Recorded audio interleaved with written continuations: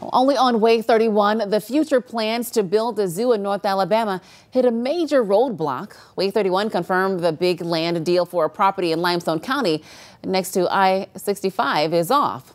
So the zoo's future home is now up in the air. WAAY 31's Matt Kroschel goes over the behind-the-scenes scramble to salvage a new deal and keep momentum going. New interest from statewide political and business leaders. I'm being told those new conversations are happening right now. Yet the first major hurdle for the nonprofit that wants to build that zoo, the land, the developer that had the contract to purchase hundreds of acres needed to pull this off, now dealing with an unexpected medical issue.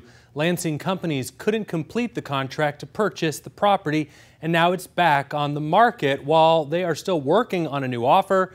This contract falling through could leave the future of the zoo in limbo for now. Uh, lots of moving parts is as an understatement. A big push is on right now to raise the $11 million needed to buy the property to begin building out the zoo and a nearby research campus, something they wanted to begin as soon as next year. That timeline now in jeopardy. And it is, let me tell you, uh, anything land in North Alabama is incredibly complex. Uh, you can go talk to any developers, any builders. Um, there's a lot of people that see Huntsville now, uh, and they want in on it. And you know, being a local organization, we've got to fight them off. Since announcing their preferred location for the zoo, the interest in that prime real estate with easy access to the interstate only increasing. You know, should things happen, which you know, this economy is super competitive, we would be fools not to have backup options in place. Despite the contract for the property falling through, Fitzgerald says his group still feels optimistic about where the zoo concept fits into other possible development plans on that site. They are involved in and working closely with owners and real estate agents on both sides.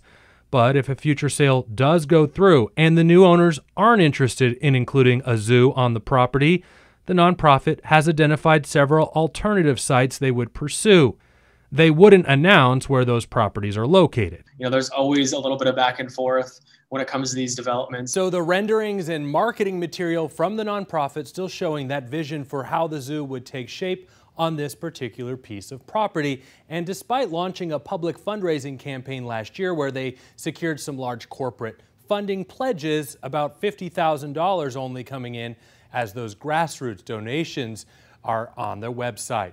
I'm Matt Kroschel. WAAY 31 News. Matt, thanks. The nonprofit is already hosting educational camps and programming despite not having secured the property for the future zoo.